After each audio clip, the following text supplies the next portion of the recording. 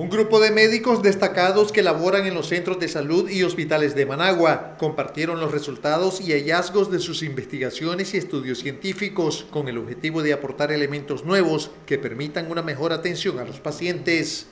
Eh, hay trabajos relacionados sobre VIH, sobre retinopatía del prematuro, muy importante, una enfermedad que puede afectar al niño nacido prematuramente y que fue presentado por una pediatra del hospital alemán. El día de hoy traje eh, el tema de factores de riesgo asociado a prolaxo de órganos pélvicos, una de las patologías que nuestra población sufre día a día, eh, prevalentemente en las mujeres mayores de 40 años, en las abuelitas, que es una enfermedad que no les gusta, decir, que no que no les gusta compartir incluso con sus familiares por vergüenza y, las pacientes pasan incluso años con dolor, con ardor, con molestia.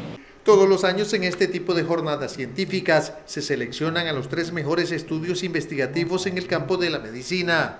Entonces tienen un doble premio, el que nosotros les otorgamos un reconocimiento por ser los mejores trabajos y luego participar en la Jornada Nacional Científica. Este año se presentaron 15 trabajos científicos desarrollados por galenos de los hospitales públicos y centros de salud del departamento de Managua. Para TV Noticias, Román Rodríguez.